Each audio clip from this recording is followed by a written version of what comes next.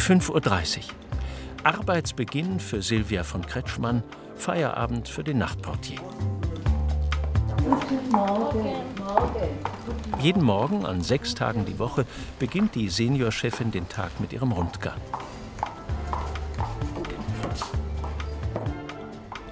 Heute haben sich VIP-Gäste angekündigt und auf der zweiten Etage muss ein Zimmer komplett saniert werden. Möglichst ohne die VIP-Gäste zu vergraulen, die sie heute im Europäischen Hof in Heidelberg erwartet.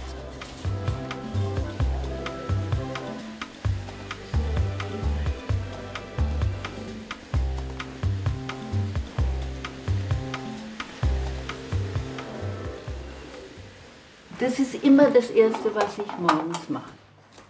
Die wichtigste Liste des Tages. Das ist für uns alle das Wichtigste. Das sind die Ankünfte heute. Das heißt zum Beispiel, dass wir, zwei, vier, dass wir ungefähr 20 VIP haben.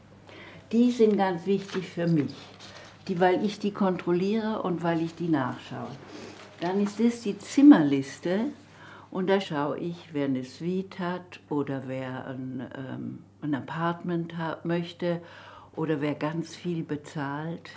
Ähm, der wird dann, den, die teilen wir ein, weil jedes Zimmer bei uns im Haus ist unterschiedlich, fast jedes.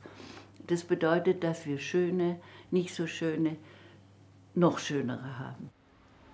Der Europäische Hof ist eines der wenigen familiengeführten Fünf-Sterne-Stadthotels in Deutschland.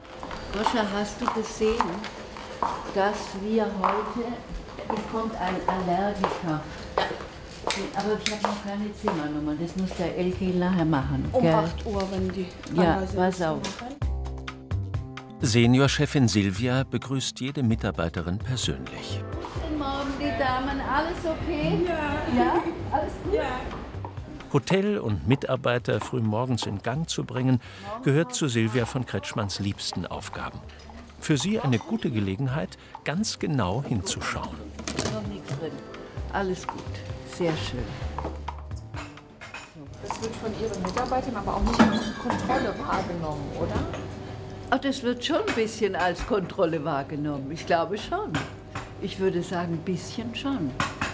Ähm, es ist eigentlich keine Kontrolle, weil ich ja denen allen vertraue. Aber ähm, die sollen schon wissen, dass einer von uns da ist. Ich finde, das ist ganz wichtig, sonst. Ja, aber, oder Frau Schramm, wird es von Ihnen als Kontrolle äh, angenommen, wenn ich Nee, morgens da. Eher als Unterstützung. Eher als Unterstützung Also tatsächlich. auf die Idee bin ich eigentlich noch gar nicht gekommen. Das muss als Kontrolle sein. Nee. Nicht nur das Frühstücksbuffet muss Eindruck machen, auch auf den Etagen und Zimmern muss alles glänzen und reibungslos funktionieren. Dafür beschäftigt der Europäische Hof sechs festangestellte Handwerker. Thomas Müller ist eigentlich Schreiner, im Luxushotel Allrounder. Heute hilft er seinem Elektrikerkollegen Jörg aus. Zimmer 225 wird kernsaniert und muss bis Ende der Woche fertig sein. Aber das ist heute nicht seine einzige Aufgabe. Wir haben jetzt eine App, das haben wir neu. Ich muss mal gucken, was für Aufträge was wir bekommen. Also heute Morgen habe ich schon ein paar Sachen repariert. Und äh, die kriegen wir dann, Vibrator und dann klingelt an. Und dann müssen wir halt ihre Reparatur halt erledigen. Oder wir werden angerufen von der Hausdame, wenn das Wichtige da drin ist, dann müssen wir halt hier aufhören und müssen halt weg. Also man kann man manchmal gar nicht die kom komplette Arbeit komplett machen, weil man meistens manchmal unterbrochen wird. Und dann, ja. Aber ich bin jetzt schon 13 Jahre hier, das, da spielt man sich das ein, das ist alles kein Problem.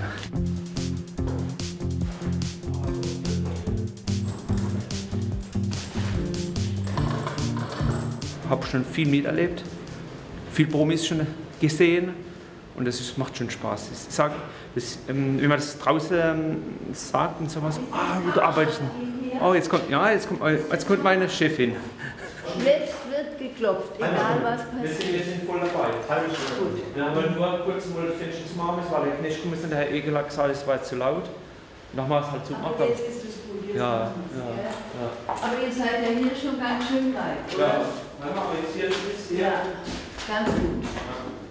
Sehr schön. Wunderbar. Ah, die sind ja auch schon geschöpft. Sehr gut. Das ging doch aber ganz flott, oder? Ja. Sehr schön. Manchmal hat sie noch Ideen, was man vielleicht noch ändern können oder mir halt mal noch mal fragen, ah, können wir das so machen, können wir das so machen. Wir stimmen sie mit ihrer ab und sie kommt ja auch immer rein, bevor das mal so Zimmer renovieren, was wir machen müssen. So, ist schon in Ordnung. Also ich sag mal, lieber ein Chef soll gucken, was die Leute arbeiten. Ich finde es in Ordnung. Ja. Im Innenhof laufen die Vorbereitungen fürs Abendessen. Im Serviceteam von Max Feser arbeiten fünf Festangestellte und seit August eine Auszubildende. Ganz kurz für euch beide, wir machen heute Barbecue. Barbecue findet statt, das Wetter ist gut. Ähm, das Buffet steht soweit. Ähm, hinten liegen die Bilder, die sind neu gedruckt worden von der Küche. Geht nochmal bitte drüber und guckt, ob das alles so passt, dass die später nicht in den Saich kommen. Tisch 44 bestellt gerade und Tisch 47 trinkt nur was. Ansonsten ist eigentlich die Terrasse safe. Ähm, zwischenrein ein bisschen eindecken. Das Barbecue findet heute zum letzten Mal in der Saison statt. Ein besonderes Event, das Hotelgäste, aber auch Heidelberger anlocken soll.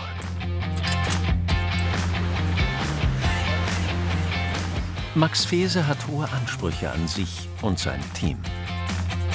Heute Abend kommt es einfach darauf an, dass die Gäste zufrieden sind.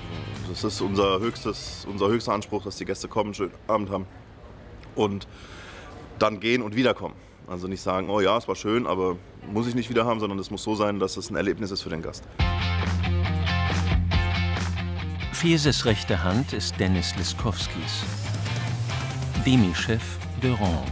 Je eingespielter das Team ist, desto äh, besser funktioniert auch der Service und wenn es dann ruhig bleibt und keine Hektik entsteht, weil die Hektik merken auch die Gäste und die Gäste sollen hier keine Hektik merken. Die Gäste sollen einen schönen, entspannten Abend haben oder Mittag und wenn wir dann sagen, ähm, wir kommen in Stress, funktioniert das nicht. Deswegen Teamarbeit ist wirklich das A und O auch. Malgorzata El-Kiel arbeitet seit 19 Jahren im Europäischen Hof. Sie ist die erste Hausdame. Wir kontrollieren natürlich, das ist die Hauptbeschäftigung, sage ich jetzt so. Aber wenn fehlt uns Hand zum Putzen, natürlich packen wir auch selbst. Nehmen wir Putzeimer und gehen wir mitputzen. Ob äh, Zimmermädchen halt auf die Liste ein bisschen mehr als normalerweise. Dann zwischendurch, wenn haben wir ein bisschen Zeit bei Checken, greifen wir auch zu. Zum Beispiel sehr vorteilhaft bei mir, ich war selbst drei Jahre Zimmermädchen. Ich weiß, was das bedeutet, was ist das für Arbeit. Ich glaube, dadurch verstehen wir ja auch so gut. Weil ich kann, glaube ich, besser abschätzen als so eine Hausdame, welche hat selbst noch nie gearbeitet als Zimmermädchen oder nur in Ausbildung, sage ich jetzt so. Weil drei Jahre als Zimmermädchen, das ist schon eine gute Erfahrung, sage ich jetzt. So. Jetzt muss es schnell gehen. Die Gäste kommen gleich an. Lichter am Fenster bitte auf. So, bitte Fenster aufmachen, wenn Sie reinkommen. Dabei kann ich auch selbst schauen, in welchem Zustand sind unsere Wäsche. Lea, bringst du bitte eine kleine Kissen? Es ist aber auch Nachteil für zu Hause Hausdame zu sein. Weil sie machen oder alles perfekt oder gar nicht. Denn entsprechend, manchmal sieht bei mir aus, wie Bekannte sagen, wie im Museum. Und manchmal bitte ich zu Gott, oh, ich hoffe, klingelt heute keiner. Deswegen, das ist nicht so, dass man ist jeden Tag fleißig und schön räumt auch zu Hause. Bei uns in Polen ist ein Spruch, der Schuhmacher läuft ohne Schuhe, barfuß. Und so dann entsprechend ist er auch. Die Housekeeping-Chefin Margoschata leitet ein Team von fast 20 Mitarbeiterinnen. Erst wenn sie das Okay gibt, dürfen die Gäste auf ihr Zimmer. Was ist praktisch bei solchen Fällen beispielsweise, wir haben selbst geputzt, dann automatisch natürlich checken wir nicht nach uns, weil wir tun automatisch auch kontrollieren, ob alles funktioniert. Sauberkeit haben wir in eigener Hand. Minibar haben wir gleich gecheckt. Da muss die Minibarfrau nicht wieder reinkommen, Wasser aufgefüllt. Das heißt, der Gast kann nach uns direkt schon reinkommen. Geht dann viel schneller.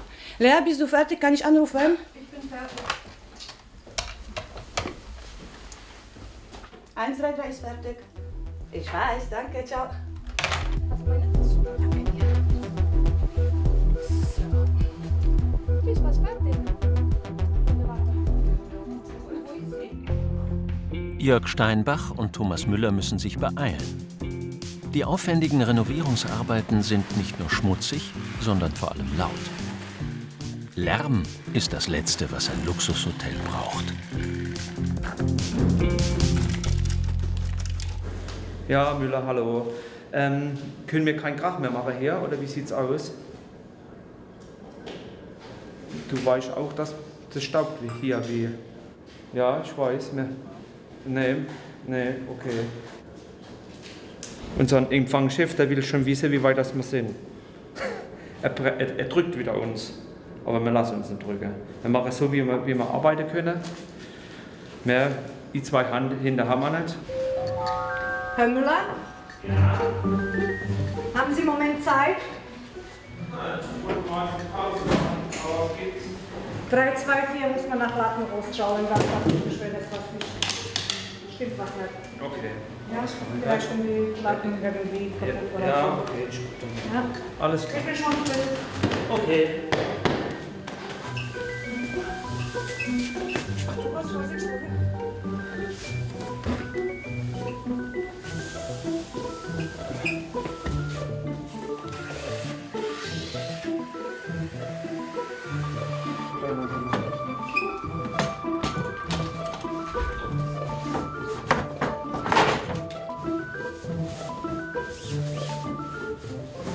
Wieder okay. Das war deine Schuhe, Eva. So, Dankeschön. bitteschön. Aber einen Überblick reinschreiben, bitte. Ja, mach ich. Mach ich. So, jetzt gehen wir Mittagspause. Mittagsruhe im europäischen Hof. Dann machen Schreiner Thomas und Kollege Jörg auch Pause in ihrer Werkstatt.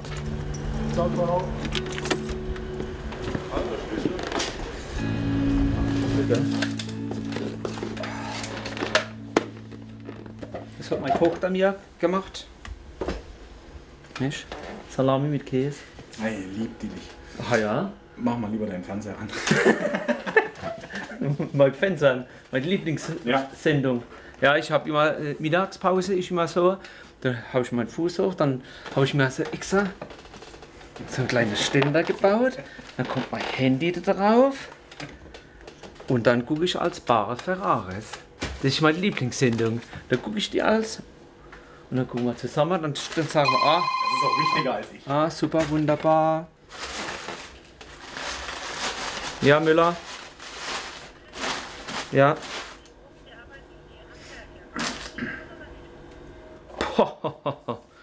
Am besten ruf schon mal die Chefin an, frag die. Die Chefin, die Frau von Kretschmann anrufen, frage.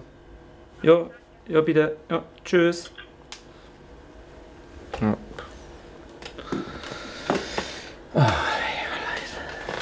Jetzt können wir mal essen. Max Fese ist nicht nur Restaurantleiter, sondern auch der Sommelier des Hauses. Rund 350 verschiedene Weine stehen auf seiner Karte. Weinhändlerin Flörchinger kennt seinen Geschmack ganz genau. Aber der steigt ja auch sofort an den Gaumen, ne? Also, auch relativ merkst, lange. der sticht sofort. Das ist gut.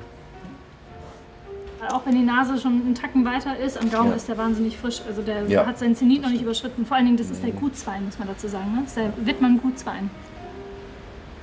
Es ist einfach Sauvignon Blanc, wie er im Lehrbuch oder im Fachbuch steht.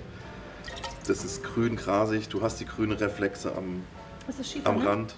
Du hast direkt eine, eine Säure am Gaumen, die dich direkt kitzelt. Du hast aber diese tolle Banane, Ananas auch.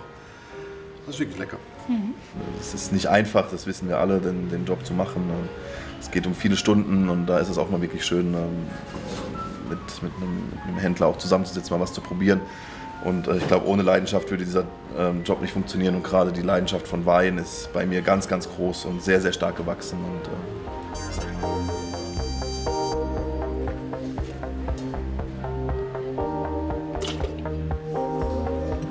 ich überleg's mir. Wenn, nehme ich wenn dann nehme ich die 10 Kisten komplett. Guter Mann.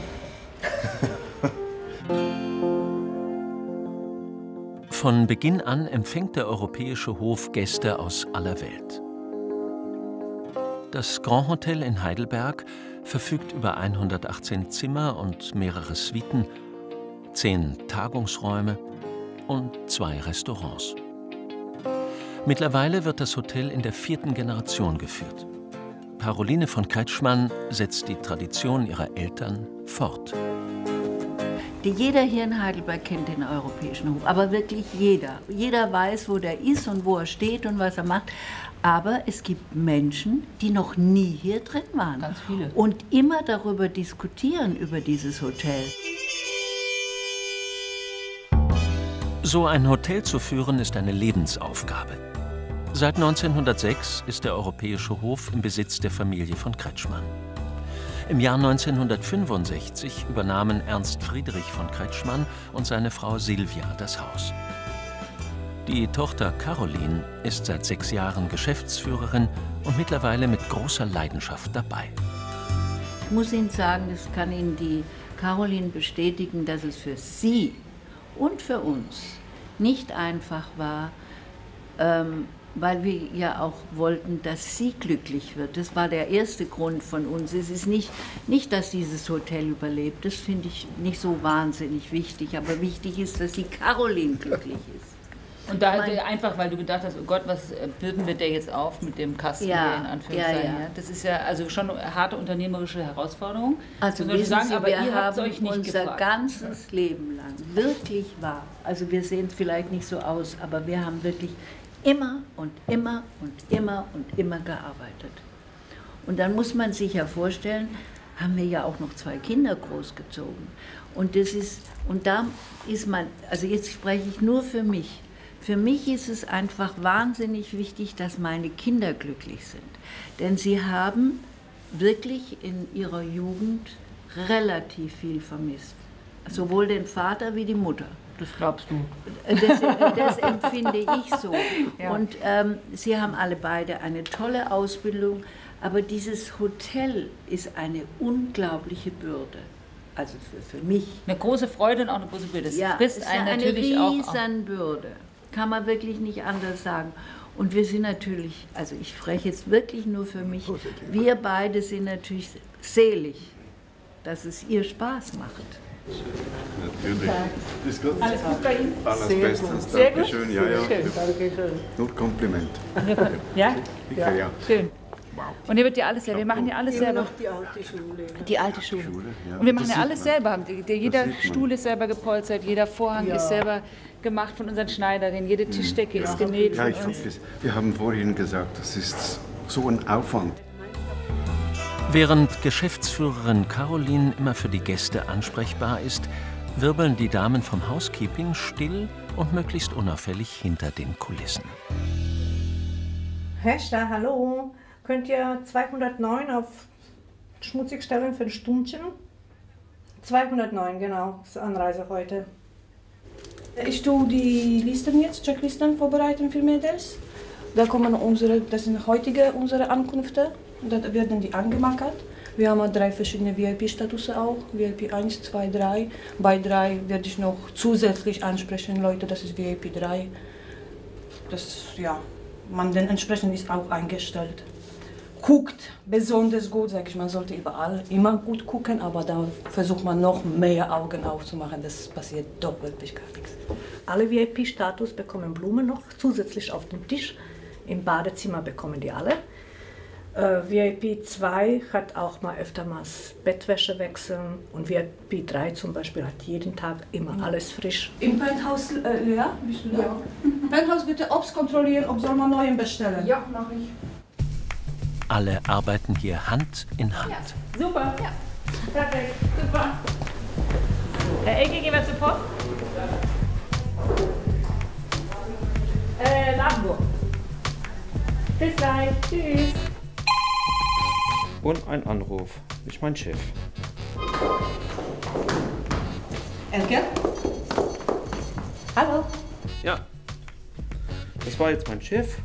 Das geht vor. Bei dem knatscht die Tür, da gehe ich jetzt gleich hin und öle die.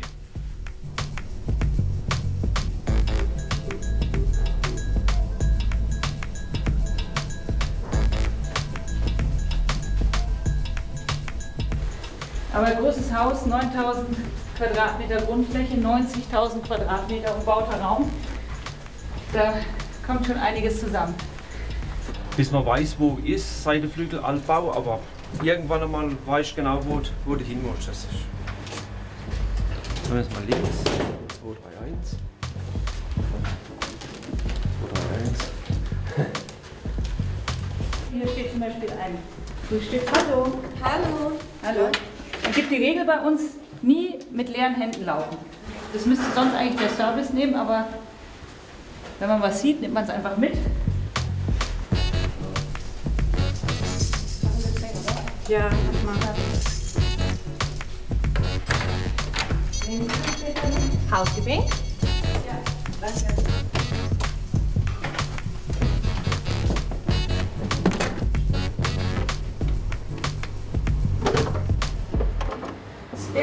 Größe hat mir Gott nicht gegeben. Hier, Türe. Ja, das war die Türe. Okay. Das macht nichts.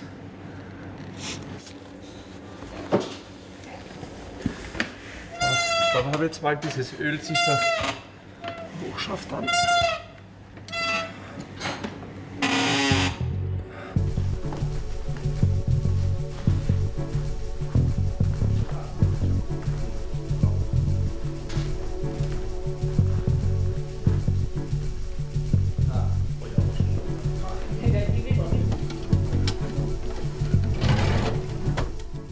Bei unseren Stammgästen natürlich machen wir uns Notizen, ob Gast nutzt Nackenkissen, ob äh, Gast braucht äh, Bügeleisen, Bügelbrett.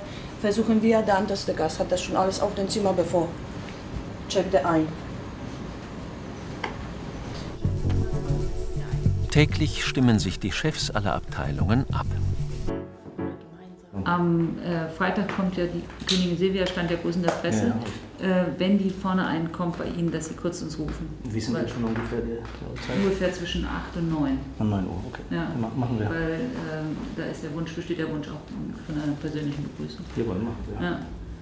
Heute sind die ähm, VIP-Gäste vom Penthouse abgereist, sind auch sehr zufrieden mit dem Service. Vielen Dank an alle anderen Kollegen.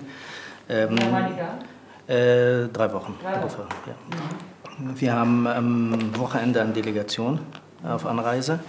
Wir haben auch Sonderwünsche bekommen. Das ist eine lange Liste. Mhm. Äh, entspricht mehr für den Housekeeping und auch Küche. Ja, okay. Sonderwünsche fürs Essen. Da würde ich auch den Kollegen nicht leiten in den E-Mail weiter. Das ist eine, eine große Familie aus Mittliesten. Kennen wir die schon? Ähm, nein, das sind neue, neue Gäste. Gut.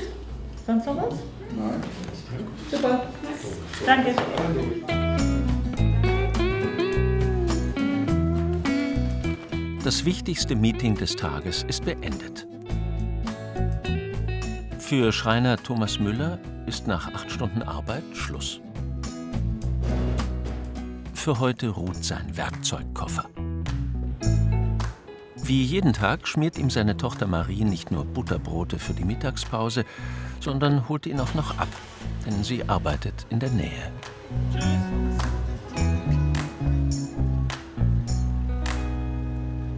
Die einen gehen, die anderen sorgen für den letzten Feinschliff. Einmal in der Woche gibt es frische Blumen. Dafür kommen im Jahr 50.000 Euro zusammen. Also dann machst du das einfach so, sag die nächste Woche Ja. wieder das Gleiche, gell? Gut, wunderbar. Die werden von Seniorchefin Silvia von Kretschmann gemeinsam mit ihrem Hausdamenteam gerichtet. Seit fast 20 Jahren arbeitet Margot Scharter Seite an Seite mit Silvia von Kretschmann. Natürlich. Ich werde jetzt nicht behaupten, dass mich tut Abend nicht irgendwas weh. Sind solche Tage und sind solche. Eigentlich kannte ich nur von Frau von Kretschmann. Ich glaube, sie hat mir mehr beigebracht, sie hatte mehr Einfluss auf mein Leben gehabt als meine eigene Mutter. Weil äh, in der, die, die Alter, so 18, 19, man hat nicht so auf Eltern. Es, man hat eigene Erwachsene Kopf. Und ich bin hier zu von Kretschmann gekommen wo wollte ich schon auf meine eigenen Beine stehen. Und das hat mir alles diese Frau beigebracht. Es war wirklich Erfahrung wert. Bin auch stolz darauf, ehrlich gesagt. Die hat auch schon grauenvolle Sachen mit mir erlebt. Es ist nicht so, dass ich heute nicht auf den Deckel mal bekomme. Und kriege ich bestimmt auch irgendwann wieder mal. Aber trotzdem, trotz allem, es ist wirklich Aber wir wunderschön. sind wirklich ein super Team. Gell, Frau Hegler? Der Beste, nicht das Ja, das Beste, ja. Auf der Terrasse ist das Barbecue angerichtet.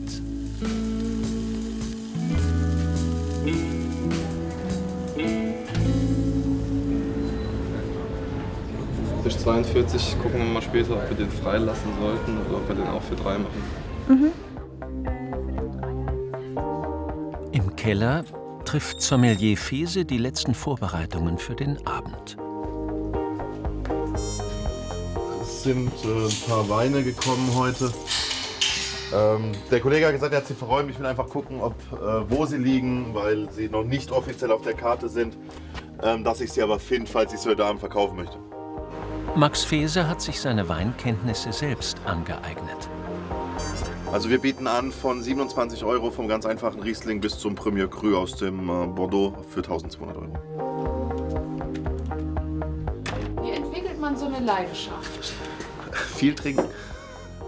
Ähm, Leidenschaft für Wein entsteht durch das Trinken selbst, also durch den Genuss. Ähm, Wein trinkt man nicht, Wein genießt man.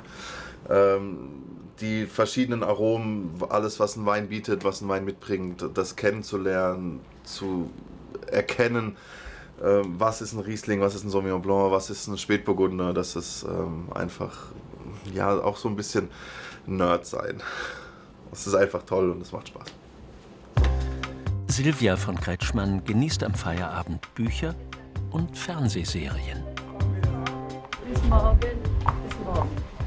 Nach zehn Stunden auf den Beinen steigt die 79-Jährige nun auf ihren GTI um. Das ist jetzt Feierabend heute. Ich habe jetzt einen Termin. Ja, das ist Feierabend. Aber können Sie da loslassen?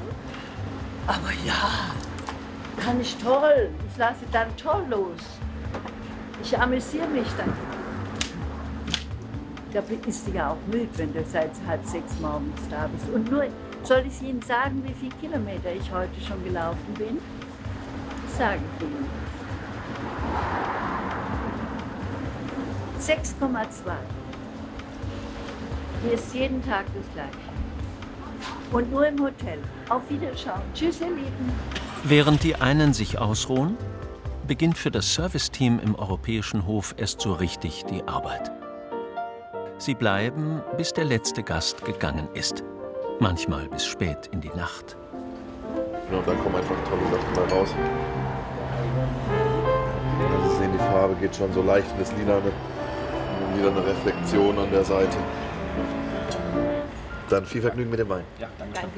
Die Mitarbeiter sind stolz auf Tradition im Service. Da habe ich einmal die Seezunge versehen. Schön, ich filetiere die jetzt am Tisch und meine Kollegin kommt gleich mit dem Beilage rein. Ja? Ja, also man sieht es nicht mehr so oft. Ähm, es ist halt alte Schule, sagen wir es mal so. Aber dadurch, dass wir hier ein Traditionshaus sind seit 1865, kriegen wir das halt noch mit. Und ähm, es wird uns auch noch beigebracht in der Ausbildung. Und wir fragen aber auch immer, ob es den Gästen recht ist, dass der Azubi das dann macht. Und ähm, dann stellen wir uns natürlich nebendran und gucken, ob das alles wirklich glatt läuft und dass die Qualität dann auch stimmt und keine Gräten mehr drin sind. Aber es muss halt von Generation zu Generation immer weitergegeben werden. Und es hat mich auch sehr gefreut, dass wir es noch machen konnten hier. Wer in der Gastronomie arbeitet, muss eben auf vieles verzichten. Es ist einfach so, dass ich eine Leidenschaft dafür brauche. Ich muss davon ausgehen, dass ich Weihnachten, Silvester nicht bei der Familie verbringe, nicht mit Freunden verbringe, sondern mit Kollegen, die zu Freunden und zu einer zweiten Familie werden.